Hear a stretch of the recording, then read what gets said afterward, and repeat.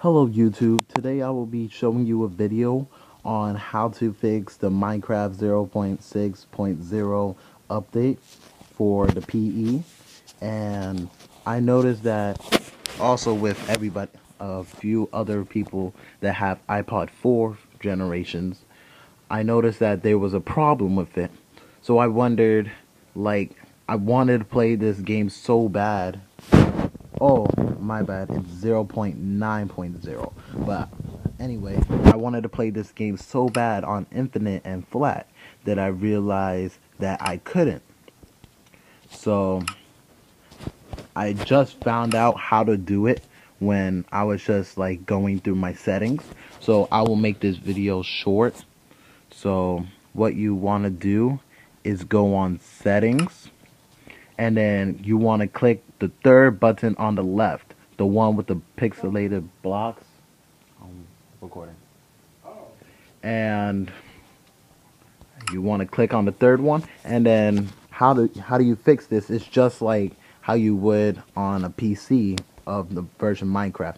The view distance would be like preset to the middle, but you want to move it all the way to the left, make the view distance very near, and then turn everything off. Fancy graphics, beautiful skies, animated water, high GUI. You want to turn it all off, and that'll allow your iPod 4 to um to play the game. Because if you don't do that and you go on infinite, which keeps on going on forever and ever, um, it's gonna be too much for your iPod to iPod um, like memory or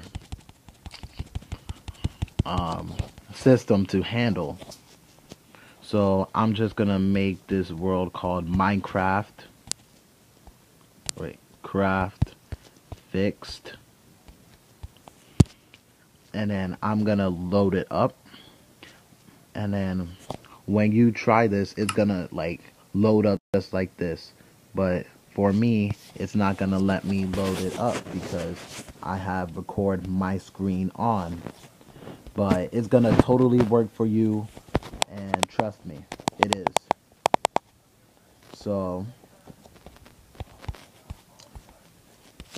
um please let me know if this video was helpful to you um, please let me know by subscribing, liking this video, or um, by sharing this video with all your other friends or family members, members, whatever, on social media like Instagram.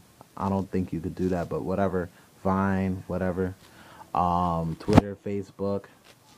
And please subscribe to my channel but really just let me know if this video was helpful because once i found this out i was like yes!